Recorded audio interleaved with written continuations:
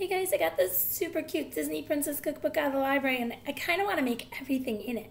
But today, we're going to make Rapunzel braids. So in my bowl, I've got two cups of flour. I'm going to add half a cup of cornmeal, a tablespoon of baking powder, and a teaspoon of salt. Now I'm going to mix this up. Now I'm going to cut in five tablespoons of butter, my pastry cutter.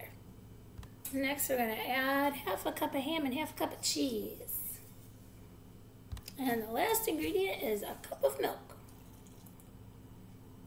Now I'm just patting the dough out with my hands onto a floured surface with some flour on top to keep it from sticking. Here's the dough sliced into 48 tiny little strips. Okay, now comes the interesting part. We're gonna braid biscuit dough. So I'm gonna sort of squish the ends together, but not too tight. And then we'll do over, under, over, under. It's easier to get it tighter in the middle and the end.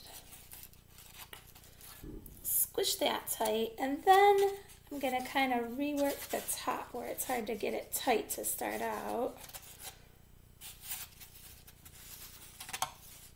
Okay, and then I'll squish that in together, and then we of have a very cute little braid. If you're not really a braider, I would suggest practice with some yarn or, you know, doll's hair or something for a little bit, and then move on to the more complicated biscuit dough.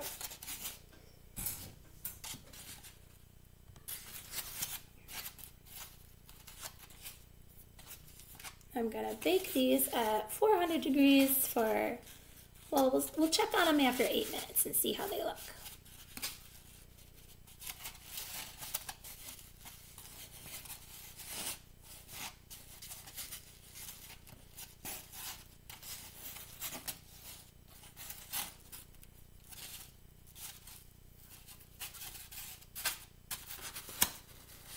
Super cute. I hope they look that cute after they're baked. They look like a perfect snack to go with a nice book or a Disney princess movie or whatever it is you want to do today. See you soon at the library.